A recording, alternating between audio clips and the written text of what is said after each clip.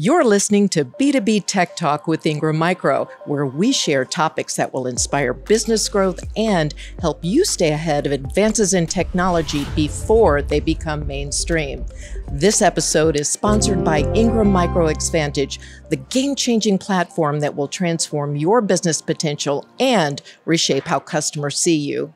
Our next two guests are both tech rock stars. The first is a transformational visionary. Sanjib Sahoo serves as Executive Vice President and Chief Digital Officer of Ingram Micro. In his role, Sahoo leads Ingram Micro's strategic efforts to accelerate the development of innovative world class customer and user experiences. On digital transformation, Sahoo says digital transformation done right requires an organization to be both aggressively digital and amazingly human. Digital transformation is not about technology alone. It's about mindset and about embracing a spirit of innovation. Ray Wang is a tech prognosticator, author, and is the founder and chairman and principal analyst of Constellation Research. He co hosts Disrupt TV, a weekly enterprise tech and leadership webcast that averages over 50,000 views per episode and authors a business strategy and technology blog that has received millions of page views per month. On this episode of B2B Tech Talk, we're going to turn the tables and allow guest host Sanjib Sahoo to interview Ray Wang. Gentlemen? Hey, so we're live here in Las Vegas here at the Ingram Micro event. I'm here with Sanjib. What's going on? Great. How are you? Yeah, I'm amazed. I, I love Las Vegas. I'm back here. Can you believe that? You you almost like live in Las Vegas, you know, don't you? I do. I spent about 30 weeks out of the year Wow. here. California should not get my state taxes. Do you gamble? No, I don't gamble. You gamble with technology. I gamble with technology. Exactly. awesome. It's been can't believe it's been 12 years we know each other. It's been a long time. It's been a long time, and it's amazing to see all the things that you've built over the years. So, What's going on in your world? You know, the biggest thing is probably AI. It's probably platforms. It's probably, you know, where software is going. You know, it's, it's a part of everyone's lives. Wow, what do you think uh, is a platform? Everybody talks about marketplace platform and what do you think? What's your what's your thought on that? Look, if you build a platform correctly, it's really about making it easier for everybody on all sides, right? The vendor, the supplier, the employee, the partner, all that imp- becomes important. And of course, the customer. And if you put that together, then you really have a platform. But most people say, oh, we've got a platform, and it doesn't work for more than one side. And that doesn't make a platform. You're right. Yeah. So what have you built? well, you know, seems like something that you are talking about, you know. So, you know, at Ingram, we had like lots and lots of data. You know, we had more than 40 years of data and we just focusing on creating an amazing experience. Imagine creating a single pane of glass and take all of the complexity, all of the friction away, where you can buy hardware, software, cloud subscriptions all into one platform. So we really are focusing on building that experience, and that that entire experience platform is called Xvantage. So we have been working on building Xvantage, you know, in Ingram Micro and and rolling it out. You know, that's one of the toughest things, right? You'd buy hardware and then you'd have to buy services separately. And then you might have some come and install it separately. And then you're like, I want to move to the cloud. All those things you're saying go away. is go away. Imagine you have one platform, you're a reseller or a partner, you come here, you can the same shopping cart, you can actually have buy a hardware, you can have cloud, you can have subscriptions, you can have everything. Wait, you can you handle different pricing models? different pricing Can models, discounts? discounts, you know, you can actually handle co-terming, partial upgrades, all of this. So really take all the complexity of the backend out, you know, and do that. So that's why we're we're super, you know, happy about it and doing uh, launching this platform. One, one contract? one contract you know so so we are working on a lot of this you know complexities out but but i want to touch back on something you said. You know we talked about platforms. I mean everywhere i go people are talking about ai and data but ai is not new. You know if somebody asks me what is ai i? Call ai is like agile intelligence not artificial intelligence. You know why agile? You cannot take a year or two to learn intelligence. It doesn't work you know? Mm-hmm. So agile intelligence is how humans and machines can work together and it really gives the intel for the business. What do you think about that? No, I think you're completely right. I mean, when we think about automation, when we think about AI, it's really about where we have full intelligent automation, intelligent AI. But then a lot of it is really our ability to augment and work with uh, machines. So how do you actually augment machines with humans? How do we enhance their capability? Um, Why do we make exceptions? Why do we break rules? Like this happens all the time. Those are things that you pick up. And that's what we do when we augment a machine with a human. But then we also augment the human with the machine and we make their lives easier. They get to move more quickly, they can move faster. And then the last piece is how do we actually have pure humans actually do work? right? When do you actually put a human in the process? You want a full experience. Uh, you know, do you want to keep a human in the loop so the machines don't take over? But you get the idea, right? And so, how do we put all these things in play? Yeah, yeah, you're right. And that's one of the topics that I have been thinking about. Like, you know, this creating a culture of innovation, you know, it, it, it's not easy, you know, like the heart of any transformation is human. You cannot take human out because it starts with people, you know, and and one of the things that you have to focus on is the mindset, you know, and you know this, you know, like a lot of the digital transformations, we talk a lot about digital, digital transformation. Yeah. And most of them don't work No. you know we most of them fail and and it Why do they fail? i think I mean, mm. you've worked on three big projects through your career. yeah Why do they fail?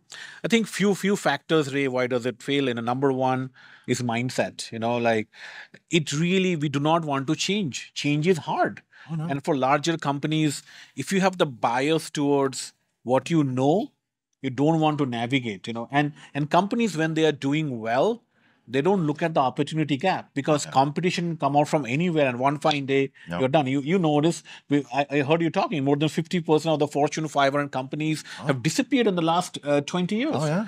Second factor is the focus on value. A lot of the people think, oh, digital transformation is moving an enterprise app to cloud, working on this next AI algorithm, Ah. doing something shiny. But shiny technology is pointless without value. Yeah. And this focus on value, I feel, is missing. You know, you can ask anybody, we are doing digital transformation. Oh, we moved 500 enterprise applications to cloud. Yeah. Okay. What is the revenue growth No. and the incremental operating income that you have provided? Nobody can answer. No, they they just did the shift to a new channel. They failed to talk about a business model, and then they don't even have a monetization model. Right? Absolutely. So there's nothing to measure. and you talk a lot about this digital dichotomy and the models and and there, there are digital immigrants and digital natives companies and a lot of the companies are aspiring to be you know digital natives and tech friendly what is your advice for for such companies Yeah, I think back to your point, the most important thing is to really think about the business model, right? What are you measuring? What are you trying to accomplish, right? And once you have that in place, then you can think about does the digital channel serve me, right? Does the digital channel provide additional value? What am I getting in terms of benefit from digitization, right? If all you're doing is just getting it onto a cloud or onto a channel, that doesn't solve the problem. But if you're able to craft a brand new experience, or if you're able to craft a brand new way to getting data and insights and bringing that together, or you have a way to actually start building intelligence, then you have something that's useful. you're right and i think what i feel is that this whole digitization has to be continuous it's not like you start digitization and you stop that's the biggest mistake we make. There's no stop sign because technology will keep on changing and coming right?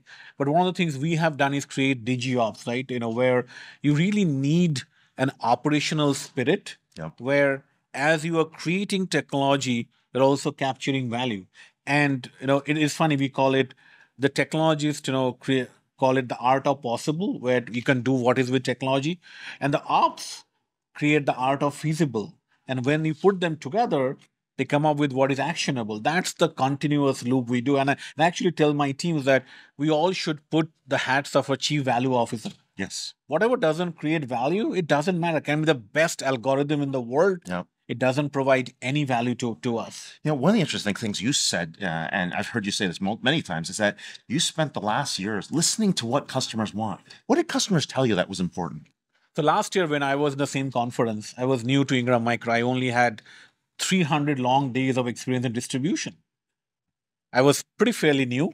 And then they all said, Can you treat us as one customer? Oh.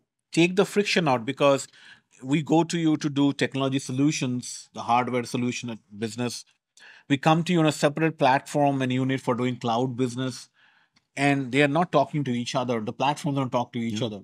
How can you create a seamless, frictionless experience for us? This is one of the biggest challenge in industry today.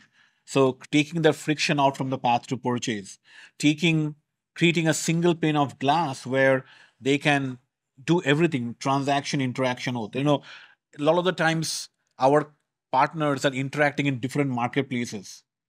but we wanted to create a platform. So we listened to their feedback and said, today in this conference, we're announcing, you know, creating Xvantage platform, which truly, truly creates a unified experience for hardware, software, cloud subscriptions, unified catalog, unified search, unified experience. It's fully integrated. That's what we are excited Wait, about. That's never been done before, Sanjay. We think this is going to be revolutionize distribution. And to, to your to your point, you know, like we listened to the customers, then we looked into our technology teams about what is possible. So what is feasible, what is possible, and create an actionable plan. And we have an amazing team who really works very hard to actually provide solutions. That's why we are super excited about this. Wow. So when we look back at this event uh, next year, what will you think will be the most interesting things for you in terms of your engagement, in terms of your conversations with customers? I think we will hopefully be trying to define a new way of interacting for distribution industry, where today Xvantage is still relatively new, but we want to make sure. My hope is Xvantage becomes the norm, the new norm that sets standards of the distribution industry, where you have a single pane of glass, you can interact, not transact, you can take complexity out, you can have a frictionless path to purchase, you can do everything all things technology in a platform. It's like having distribution in your screen, in your pocket. So you're basically doing the Steve Jobs of like a thousand songs in your pocket. What's the equivalent here in this model? It's just the ecosystem. You're doing the same ecosystem like iTunes, like a, a hardware solutions, technology solutions platform, a cloud platform, all into one plan. Just like launching the iPhone. So everything you need in tech in your pocket is what you're doing. In, in one platform, seamless, easy, and it's customized. Yep you know, based on on on on, on the reseller. So that's what it, it's exciting. That's very exciting. So when do we get to see the sneak peek of the product? Uh, in this conference tomorrow at the keynote. yeah, the keynote we're going to talk about, and I think one of the things I'm talking about is really this whole culture of innovation mindset. Yep. The speed, you know, to, to do. Last year we didn't have a platform you know we started building the platform and now we have a platform we created experience so we'll preview the platform and then we'll have a plan in the next few weeks to onboard and give access to our customers to, to this platform. So that's what we're excited about. You know, what I'm really excited about is platforms, right? And once you have the platform, you've got all the parties in the platform, you're not able to get to better insights. What insights do you imagine is going to happen once this platform's lit up, the data is in place, you've got transactional data from 40 years, what does that mean? What can I start seeing that I wasn't yeah. able to do, you know, even 30 days ago? I mean, that that's a great question. If You think about this as a distributor, we actually sit between our resellers and the OEMs and the vendors, oh, yeah. right? Apart from just aggregating and solutioning, one of the biggest things we could do is stand behind those partners, make them better, make them profitable. It's almost like a $50 billion company helping them to build their business better the insights. What are the products that are working? What is the competitive landscape? What is not working? How they can plan their you know roadmaps. There's a lot of things we can actually help them to plan. That is what they're asking so you for. predict buying cycles refresh cycles yeah, right? I mean, where it makes sense to actually do discounts where it makes sense to actually promote differently. Yeah so we are starting with some insights. Keep in mind insights a lot without customization and personalization become noise. Yes. So we want to know what is relevant for which partner and then push it to them. That's what we are working on. Wonderful. This is amazing. Thank you, Ray. So any any last advice that you have for the audience and companies, anything? What does Ray Wang tell? What's the next big thing in tech?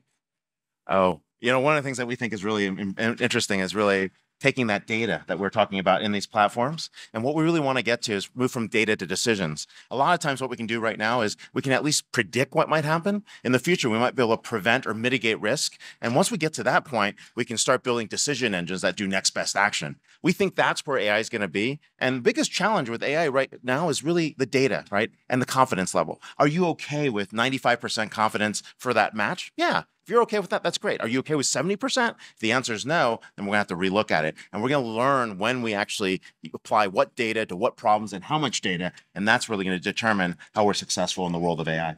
Yeah, absolutely. I think one of the lessons that transformation teaches us to be imperfect, but be little more perfect every cycle. Same with data.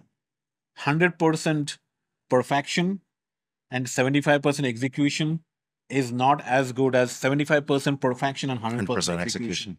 We need to keep on incrementally be better. That's what data taught us. Yes, it is. And that's what is the same transformation. We try to be incrementally better.